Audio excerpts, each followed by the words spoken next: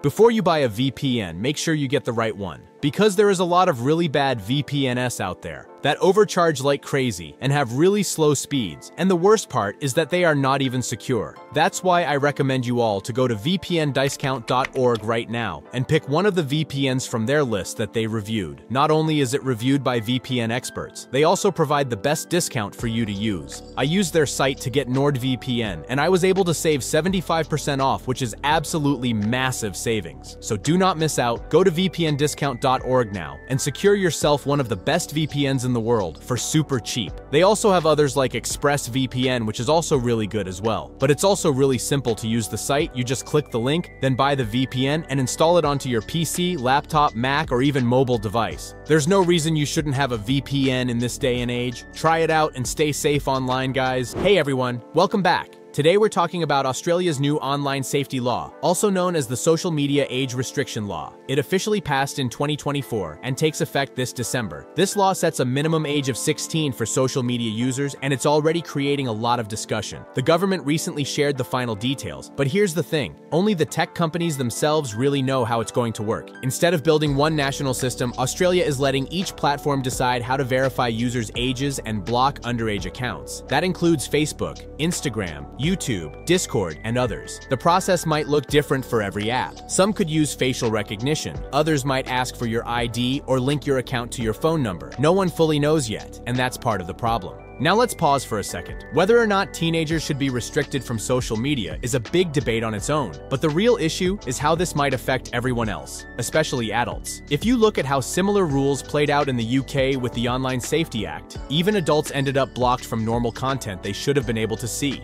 And the same thing started happening in the US when YouTube began testing age checks. There were cases where grown adults were locked out of certain videos, while their 15-year-old relatives could still watch them. The bigger concern, though, is privacy. To verify your age, most platforms will rely on third-party companies like Persona and others that handle ID verification. These services collect a lot of sensitive information, names, addresses, ID numbers, maybe even face scans, and anytime that much data is stored, the risk of leaks goes up. Plenty of people already feel uneasy about giving personal identification just to use apps like Instagram or YouTube. A single security breach could expose private information that can't ever really be taken back. So what's the best way to avoid all this? People in the UK found a simple workaround months ago. They started using VPNs, or virtual private networks. A VPN basically tricks websites into thinking you're connecting from another country. Let's say you're sitting in Sydney, but your VPN is connected to a server in New York. To every website or social platform, it looks like you're in the United States. That means you automatically bypass the Australian age restrictions. At the same time, a VPN also protects your privacy. It encrypts your data, which means your internet activity is hidden from hackers, advertisers, and even government surveillance. Now the big question, which VPN should you actually use? After testing quite a few, I'd say there are two solid choices, Proton VPN and ExpressVPN. If you want something free and trustworthy, Proton VPN is one of the best options. Most free VPNs are terrible. They're slow, filled with ads, and many of them sell your browsing data to advertisers. Proton VPN does the opposite. It follows a strict no-logs policy, meaning it doesn't store or record any of your personal activity. Even if a government agency asked for that data, Proton simply wouldn't have anything to give. Another nice thing is that Proton VPN gives you unlimited data, even on the free plan. The trade-off is that you only get access to a few server locations, speeds can be a bit slower, and you can only use it on one device. It's also not ideal for streaming platforms like Netflix or Disney+,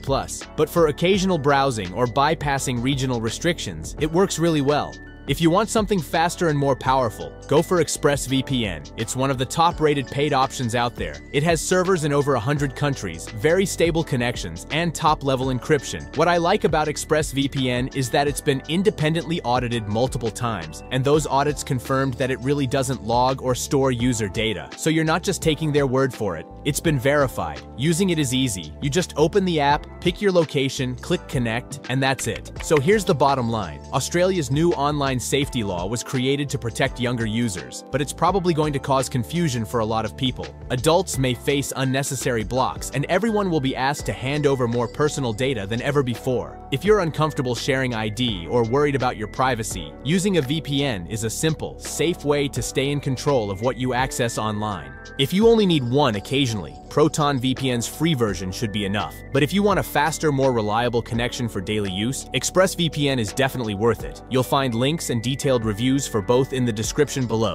along with any discount offers that might be available. The truth is, this new law might come from good intentions, but it shows just how messy online regulation can get when governments hand off control to tech companies. The rules sound clear on paper, but in practice, they create more confusion than safety. So stay informed, protect your privacy, and think twice before giving away your personal details to every app that asks for it. That's all for today's video. If you found this helpful or want me to break down more about these new policies, leave a comment below and I'll make a follow-up video soon. Thanks for watching, and as always, take care and stay safe online.